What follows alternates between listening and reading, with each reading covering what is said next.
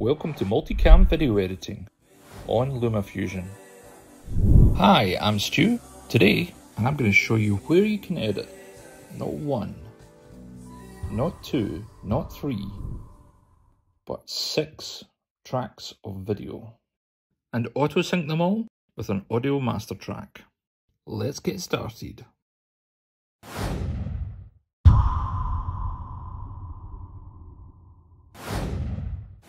Welcome back to another LumaFusion video tutorial.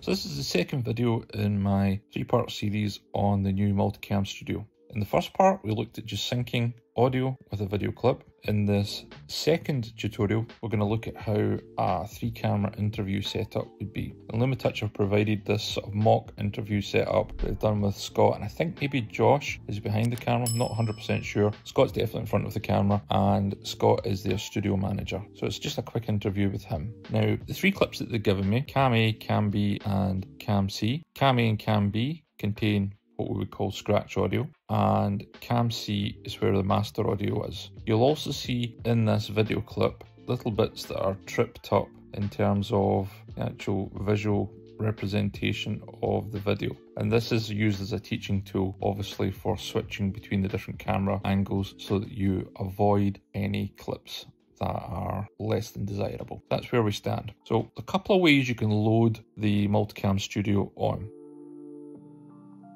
First way I'm going to show you is by selecting within the actual preview selection panel. So we're just going to select Cam C and Cam B, like so. And then we're going to go down to our plus symbol and you'll see where it says multicam container. Because I've highlighted two clips, it says two clips. So if we tap on that now, it then brings the two clips in. We want to go into the synchronizer to be able to sync everything up. So if we tap on synchronizer, the close-ups the audio we want to use but we'll let it kind of work that out and see what's going on. And obviously we don't have a master audio track, but if you wanted a master audio track, you could export the audio and use that. So you could export the audio from Cam C and then have it on a master audio track. But at the moment, we're just going to leave it as it is just now. So press the sync. Again, you've got automatic audio time code. So if your video footage has got time code embedded in it, by all means, you can work with that. But we're just going to go with automatic because is the audio that we're going for. So we tap automatic. The sync is pretty evenly set up. Now the one thing that we want to do here is because we want the master audio coming from cam C, what we're going to do is we're going to switch off the audio from cam B and just have cam C appearing. Tap close and then when we do a playback now, so because we want cam C to use the master audio, I'm going to change the audio setup on cam B to number two. So that means everything's aiming towards the master audio. Tap close, you'll now see we've got a nice waveform going on there. And then if we play it through a little second. Uh, I'm Scott Squire and I run the studio and make videos at Lumatouch. There you go. So you get the idea. If you want to go back and add to it, for example, if we brought in our first clip, Cam A, with the scratch audio. You can tap it, drag it down, place it in the timeline, and then once again, you've got to sync things up. And we'll go with audio. Only takes a second or two, everything's synced up. And again, I'm going to change the audio to 2, and that means when we close it, it's still playing the master audio from 2. Play again. Okay. Hey, Scott. Slate it? Yeah, will you slate it for me? And then you get the idea. So that's the first way of loading things up and then adding a video. If we come back out, I will show you the second way. I'm just going to highlight this clip, trash it, highlight this clip, trash it, and then highlight this clip, trash it, and we've got an empty container again. So this time we're going to drag and drop things. So I'm going to do cam C first into number one, cam B into number two, and notice how it's picking up the previous sync and then cam A for number three. And then all we've got to do now is tap automatic, let it synchronize the clips once again. And then this time I want number one to be the primary, and then the other two, I want it to point towards one also, because that's my master audio. So that's the synchronization done. If for some reason the sync doesn't work, you do have options for moving clips about. So for example, I can go to cam B and I can move it a frame at a time or bring it back, or I can move it 10 frames at a time. And obviously because I've done that, the sync's out of place. I'm just going to resync everything. And there we go, sync is now complete. And then once again, I'm going to make sure everything's okay in terms of audio's going to number one, which is what we want. And then we tap close. So that's the first part of the process. The second part is actually using the switcher.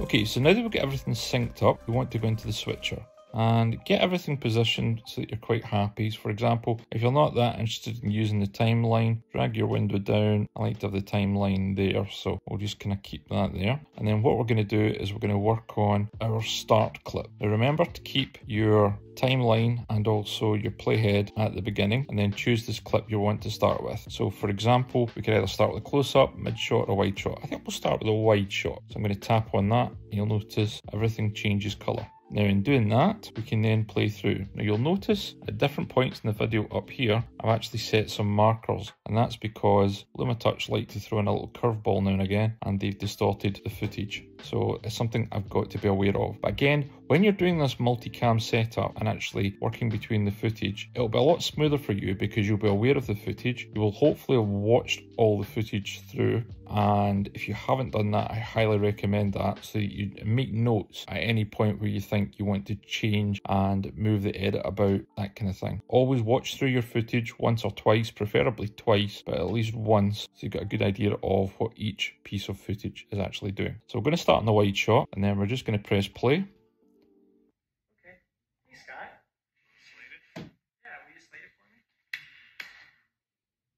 and it's coming up on this bit. So I'm then going to jump to the mid shot and you'll see the distortions going on on the wide shot. Then there's another distortion about to come up, so I'm going to go to the close up. Yeah, I'm kind of like crazy invested in a motorcycle hobby. And then I'm going to go back to my wide. And see how it's distorted, but it went past where I wanted it to be. We'll just take it back a few frames and then you can then say, well, the distortion starts here. I can go to my mid shot. Let's just go back one, say about here, switch to the mid shot, and then we can press play again.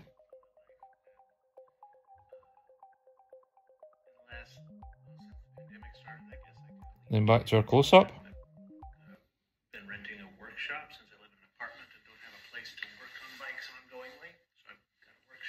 close up. Uh, um, I'm going to stop there. So you get the idea. And then once you're quite happy with everything, you can either play it back in here. Okay. Hey, Scott. Yeah, will you slate it for me? Or you can commit the switcher entirely by pressing close and you can then start to do some cuts. So for example, if I just play it through.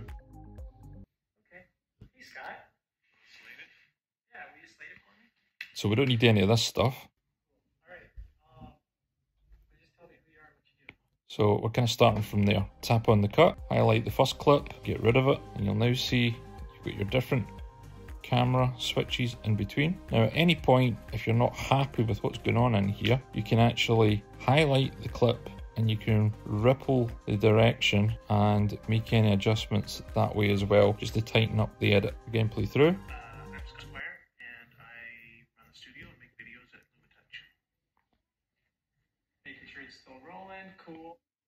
So we don't need that bit there. So again, make a cut, highlighted the clip, get rid of it, and play through again.